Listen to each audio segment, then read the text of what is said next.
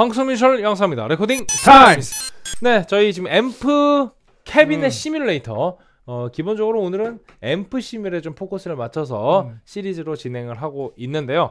어, 지금 보면은 이 페달형, 페달형 앰프 시뮬들이 굉장히 인기를 끌고 있는 이유가 있죠. 음. 그게 바로 우리가 계속해서 얘기했던 아날로그적인 사운드 음. 질감의 장점과 그 사운드의 질감을 디지털적인 세팅으로 그런 인터페이스로 가져가는 그 두 가지의 장점을 음. 합친. 모델들이기 때문에 여러분들이 공연이나 레코딩에서 활용도가 되게 높고 저처럼 애초에 multi effector를 좋아하는 분들은 그냥 쓰시면 되는데 음. multi effector 자체 사운드를 싫어하시는 분들이 의외로 아, 뭐 의외가 아니죠. 기타 뭐그 이제 사운드를 좋아하시는 분들 기본적으로 앰프 사운드 자체를 좋아하시는 분들이 많기 때문에 음. 그런 거에 대한 로망이 있는 사람들 사실 이걸 포기를 못 하거든요. 음. 근데 옛날에는 포기를 못 하면 그냥 방법이 정말 앰프에다가 마이크를 마이크를 갖다 대는 방법밖에 없었는데 지금은 그렇게까지 된 상황을 여기다 넣어놓는 거예요.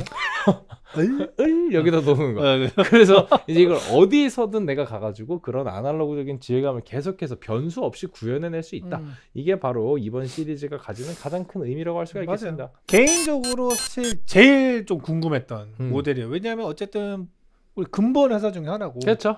보스가 어쨌든 간에 이제 좋은 이펙터들을 많이 만들고 있잖아요. 근데 이제 근데 보스가 또 뭘 또 잘 만드냐면 멀티 쪽에서 또 굉장한 강세를 음. 누렸었고 사실 예전에는 이제 우리가 추억의 뭐 GT3, 음. 뭐 GT5 그리고 뭐 GT1000, 아, 아 GT10부터 해서 뭐 지금까지 계속 나오잖아요. 그러니까 기술력이 없는 회사가 아닌데 음.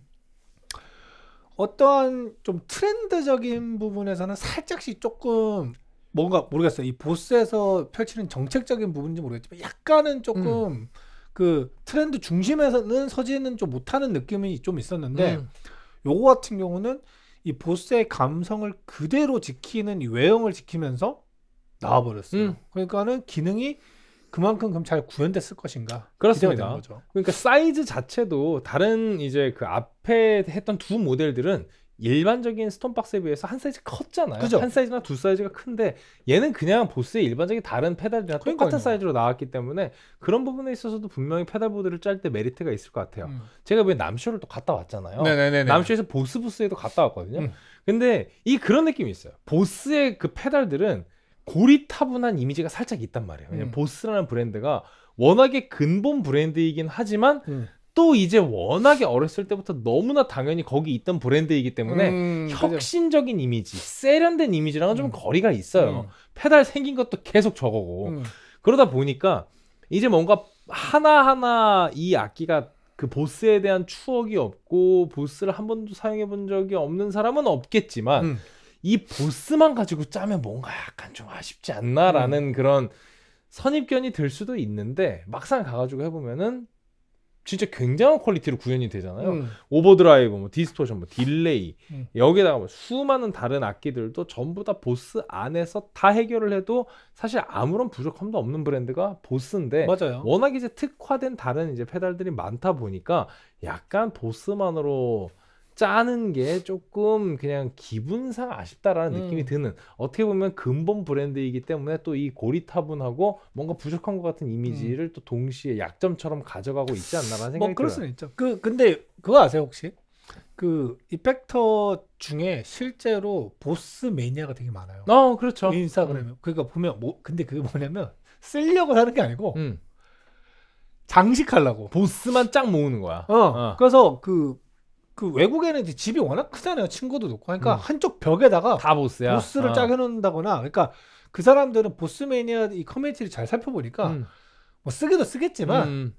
그냥 이때까지 나오는 모든 보스 종류를 모으는 거에 집착을 하더라고요. 올 보스. 네, 그러니까 어. 뭐 신제품이든 뭐든 간에 그냥 보스에서 나오는 빈티지든 거다 모아. 어. 어 없어 없어 그냥 어. 다 모으는 거야. 그런 재미는 있겠네요. 그래서 이번에 그 보스 부스에 갔을 때 이 되게 큰 pedalboard 하나를 Boss effector로만 쫙 깔아놨는데 또 집착적으로 Boss로만 해놓은 그것도 굉장히 막상 보면은 멋있어요. 음, 어. 그럼요. 은근히 멋있고 음. 그딱 사운드를 이제 들어봤을 때 추억의 사운드. 하지만 그 사운드가 과연 그때만 좋고 지금은 부족했냐? 아닙니다. 그 사운드가 바로 우리한테 있어서 그 legacy 그 자체란 말이죠. 그래서 어떻게 보면은 지금 이 사운드는 우리에게 굉장히 익숙한 질감을 줄 수도 있다라는 생각이 들어요. 그러니까 약간 이런 느낌이 들어요. 뭐 브랜드 이미지가 비슷한 점도 있고 다른 점도 있지만 남자들이 제일 좋아하는 브랜드 하나 있죠. 나이키. 음. 어. 근데 나이키에서 머리끝부터 발끝까지 사실 살라면은 되게 만족스럽게 다 뽑을 수 있지만 그죠? 약간 좀 그렇게까지 하면 좀 너무 그러니까 아 뭐 가능은 한데 가능은 한데 그 나이키 나이키 킥을, 나이키 아, 나이키를 아, 좀 그렇게까지는 안 하는 음. 뭐 그런 정도의 느낌이지만 사실 머리끝부터 발끝까지 뭐 하나 빠짐없이 다 좋은 브랜드 음. 신발부터 의류까지 다 좋은 브랜드 많지 않잖아요. 어. 우리가 어렸을 때 음. 응? 나이키 추리닝이나 네. 뭐 그런 뭐 나이키 운동화 뭐 추억이 음. 다뭐 개개인별로 좋아했던 추억이 다 다르겠지만 음. 얼마나 그 추리닝의 그 운동화 까지 세트로 신고 싶었냐 맞아요. 중고등학교 때 맞아요. 그렇습니다. 그런 거죠. 그러니까 브랜드 하나가 최고급 부티크는 아니지만 음. 뭐 하나 빠지는 거 맞아요, 없고 맞아요. 결국엔 다 좋은. 맞아. 약간 보스랑 나이키랑 교집합이 좀 느껴진단 말이죠 저한테는. 근데 그런 되게 느낌 아닌가? 좋은 표현이었어요. 네. 그러니까 뭐 알바네즈 이펙터도 그렇고 음. 보스도 그렇고 둘 다 나이키 아니면 아디다스야. 음, 어. 뭐둘 중에 뭘, 어, 뭐, 뭘 어, 뭐에다 연동해도 어, 이상하지 않아. 모르겠지만. 아. 그렇습니다. 그런 느낌의 아, 브랜드. 음. 그냥 보스는 우리한테 추억이 많아서 오늘 좀 음. 사설을 좀 길게 해봤고요. 그러네 그 보스가 나이키인 것 같네요. 아, 그런 느낌이에요. 어, 왜냐면 네. 멀티 이펙터까지 있기 때문에. 아, 그러네요. 모든 게 다 되는. 음. 네, 45만 원 오늘 했던 기어 중에서는 그래도 가격대가 제일 낮은 편입니다. 자, 그럼 밑에 가서 한번 볼게요. IR2 앰프 캐비넷 시뮬레이터고요. 네, 여기에 지금 Boss compact 페달에 포함된 프리미엄 앰프 에뮬레이터 및 cabinet IR loader 이렇게 나와 있습니다. 그리고 Celestion Digital의 11가지 다양한 음. 앰프 유형과 고품질 cabinet IR 사용할 수 있다고 나와 있죠.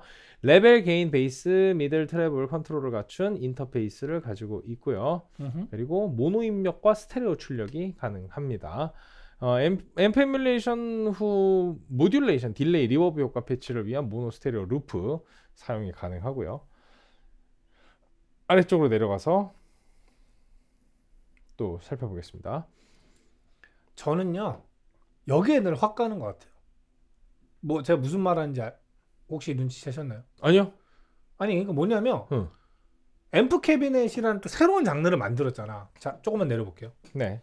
결국엔 또 이 인터페이스 안에 다 집어넣어. 아, 그렇죠. 결국엔 또 이 안에 또 다 집어넣어. 안에 넣었어요. 맞아요. 우리 아, 지금 뭐 인터페이스 첫 시간에 본 프리 보면은 뭐 굉장히 그 정도 인터페이스를 음. 만약에 이 페달에 넣으려면 못 넣죠. 음. 근데 또 자기네들 나름의 방법을 만들어내 가지고 음. 여기서 뭐 필요한 것들 다 쓸 수 있게 또 해놓고 어떻게든 다 넣었어. 어, 또. 이쪽에 또 앰프 모델을 다 갖다 넣습니다. 음. 네, 여기 보시면은 오늘 뭐 중요한 사실 정보는 요거죠. 그죠? 네, 앰프 타입 이렇게 고르시면은 음. 여기에 어, 이렇게 골라서 연동을 시키실 수가 있어요. 이 clean은 어, 보스 오리지널 앰프 음. 그리고 Fender Twin Reverb, 59 Fender Bassman, 그리고 VOX AC30 등등등 여러분들이 좋아하시는 명기들이 여기 쫙 포진해 있습니다. 음. 뭐 마샬 당연히 있고요. 뭐 보스, 음, Soldano도 Soldano, 네, 다 있습니다. Mesa Boogie 있고요. 저는 사실 여기서 끝난 것 같아요. Twin Reverb, 네, Bassman, 음, 그리고 마샬 59, 음. 그리고 Soldano, 그 제일 밑에는 Mesa Boogie. 뭐 이것만 써도 충분하죠 지금. 그렇습니다. 그리고 이쪽에 Celestion, 디지털 IR, 캐비넷 시뮬들까지 선택해서 여러분들이 쓰실 수가 있습니다. 뭐 그냥 그렇죠. 뭐 뭐 이렇다 저렇다 뭐 다 쓸 수 있다 뭐 이런 거 있고 밑에 이제 상세 스펙 나와 있네요. 네, 좋아요. 이렇게 스펙 쭉 살펴보셨고요. 음. 그럼 바로 사운드 들어볼게요. 이거는 그냥 일단 직접적으로 좀 돌려가면서 들어보고 그 다음에 해볼게요. 알겠습니다. 일단은 어, 어. 사운드를 디테일하게 세팅하기 전에 아까 우리가 봤던 그 앰프 모델들 한번 그냥 한 음. 바퀴 훑어가면서 한번 볼게요. Clean부터 한번 살펴보겠습니다. 네. Clean. 이게 보스 오리지널 clean.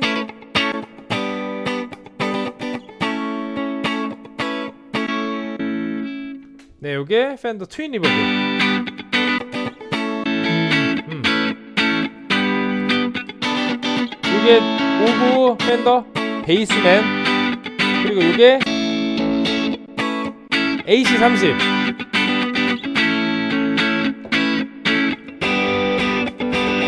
요게 보스 오리지널 앰프 오구 Super Lead Marshall입니다 그러니까 high gain. 빼면 이렇게 바로바로 빠져요. 그 다음 Soldano.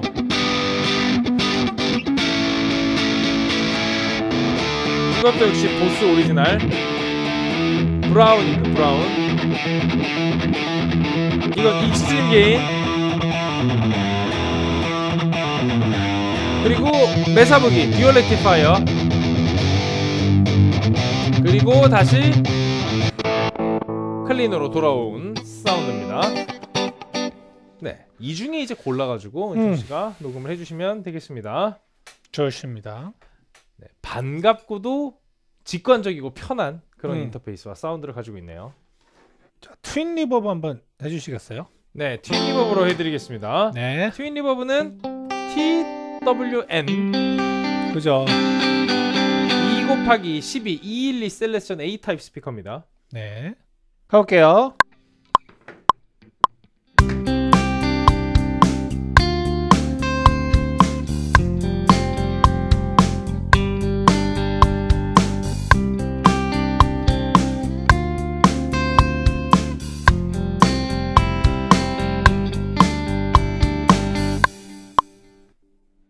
네.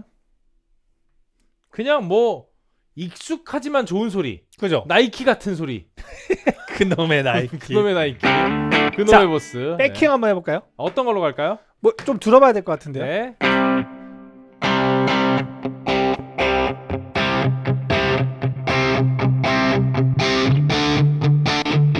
어, 얘랑 얘랑. 자, 우리가 질감만으로 고른 건 과연 누구일까요? 네, 역시나 그럴 수밖에 없죠. 59, 이 마샬 1959 슈퍼리드입니다. 아 그랬어요? 네. 이거네요. 네, 그거랑 솔다노랑 두 개로 갈게요. 네, 요거에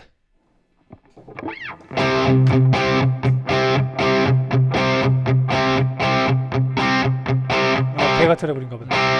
어, 좋네요. 확 살아나네. 음. 가볼게요. 네.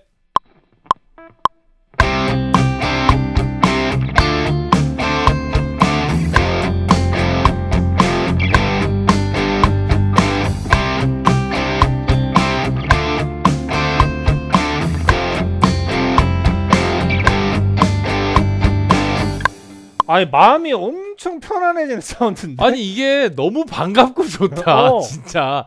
아니, 왜 이렇게. 소리가 좋아? 네 이번엔 솔다노. 이거는 이렇게 줄여볼게요. 아, 얘는 하이라. 줄여야 돼. 네. 그리고 개인은 조금만 뺄게요. 네. 오, 음. 그렇지. 딱 사네. 가볼게요.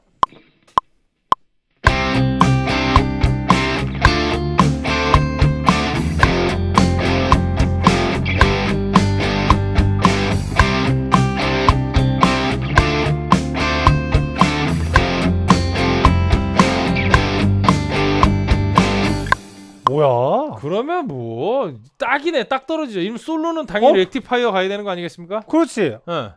와, 근데 여러분 진짜 소리 깔끔하지 않아요? 네. 어, 진짜 깔끔해. 어, 이미 좋네? 이미 좋아.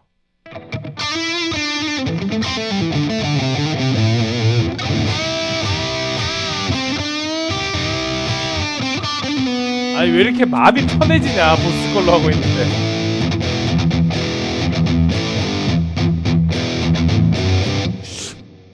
진짜 마음이 편해집니다 그러네.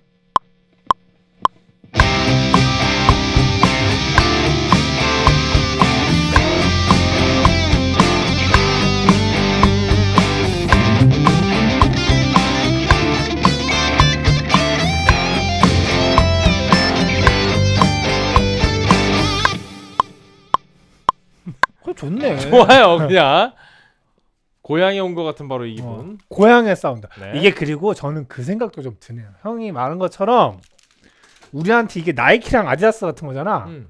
그리고 실제로 우리가 가장 많은 앨범에서 들었을 것들이 이제 BOSS가 이때까지 개발했던 GT 시- 시리즈라든가 수많은 페달일 거 아니에요. 음. 그러니까 그 기술력을 또 자기네들 기술력을 넣었으니 그러면 또 우리가 들었을 때 어 이거 되게 자주 듣던 소리인데 음, 맞아요 이제 자주 되는- 듣던 소리 그죠?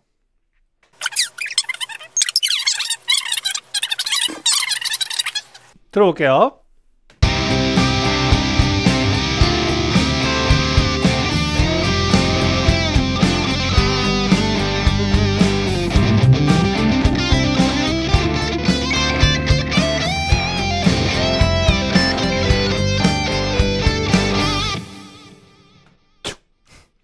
좋습니다. 자, 백킹 만. 어, 되게 하나.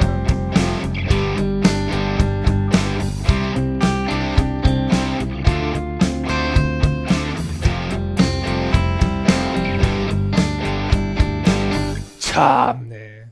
역시 그런 것 같아요. 큰형은 죽지 않았다. 저는 이걸 들으면서 어떤 생각이 들었냐면은 음. 이제 먹을 게 하나가 떠올랐는데 뭐가 그래요? 고향 만두가 떠올랐습니다. 이게, 이게 그 있잖아요. 뭐 사실 적절한 비비고, 표현입니다. 비비고 왕겨자 너무 음. 맛있고 뭐, 뭐, 또 무슨 얄피 만두네 뭐 어. 무슨 육즙 가득 뭐 이런 진짜 맛있고 최고급 만두들 많이 나왔지만 우리가 사실 살면서 제일 많이 먹고 맛있게 먹었던 게 음. 고향 만두가 아닌가라는 맞아요. 생각이 들어요. 그, 그, 그 뭐죠? 그, 뭐? 그 음식 되게 만드는 그 냉동식품 잘 만드는데 어디죠? 냉동식품 잘 만드는데 아, 그, 그 이름 하면 딱 아는데. 비비고. 비비고 어, 어. 비비고가 그 비비고 왕겨자잖아요. 아, 그래요? 아, 그러니까 그런 거 요즘 잘하죠. 음, 근데 형 말처럼 우리가 가장 많이 먹는 건 고향 만두고 음, 그러니까. 그리고 언제 먹어도 맛있는 게 고향 맞아요. 만두고 어. 라면에 넣어도 먹어도 맛있고 음, 떡국 끓여 먹어도 맛있고 음, 그죠? 맞아요. 그러니까 이거예요. 이거 하나가 이, 이 영역에서 음. 최고급, 최상위, 최우선은 아닌데 음. 뭔가 가장 많이 음. 경험했고 익숙하고 마음이 편안해지는 맞아, 그런 맞아. 사운드. 그게 우리한테 있어서 약간 보스의 딱 그게 아닌가. 음. 어, 나이키 같은 음. 그런 그리고 고향 만두 같은 거. 약간 이런 느낌. 그러네. 나이키와 고향 만두로 어. 끝이 나네. 그리고 나이키와 고향 만두가 중간 정도도 아니에요. 음. 사실 여기야 상위 최상위 그죠, 우선순위가 아닐 뿐이지 여기 굉장히 상위권에서 우리에게 가장 오랜 시간 동안 가장 큰 만족을 줬던 음. 그런 사운드가 아닌가라는 생각이 들어요. 저는 한 번씩 보스에서 뭔가 페달을 음. 나, 나올 때, 어, 좀 불안함이 사실 좀더 음. 많아요. 그러니까 뭐냐면, 그 유튜브에 이제 해외 리뷰어들은 뭐 톤을 뭐 굉장히 잘 잡고 뭔가 그 뒤에 후보정을 많이 해서 음. 되게 멋있게 들리는데, 음.